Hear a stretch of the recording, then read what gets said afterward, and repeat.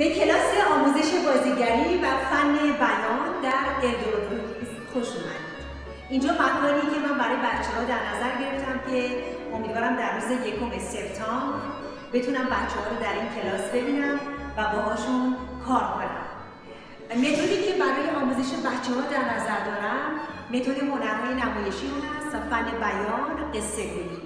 با استفاده از بازی های آموزشی و متدهای بازیگری بچه ها رو علاقمند خواهم کرد به فراگیری و یادگیری زبان فارسی و فرهنگ فارسی.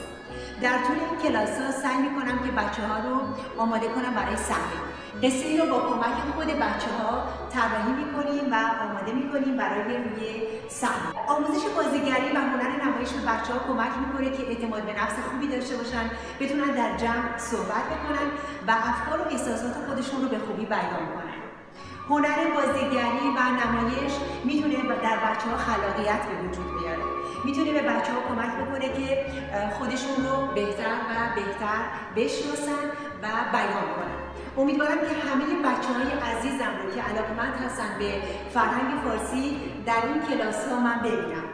و امیدوارم که همینطور جوانان و بزرگسالها هم از این کلاس های من استقبال بکنن. با امید دیدار تک تک شما عزیزان در کلاس بازیگری و فن بیان ادرانویز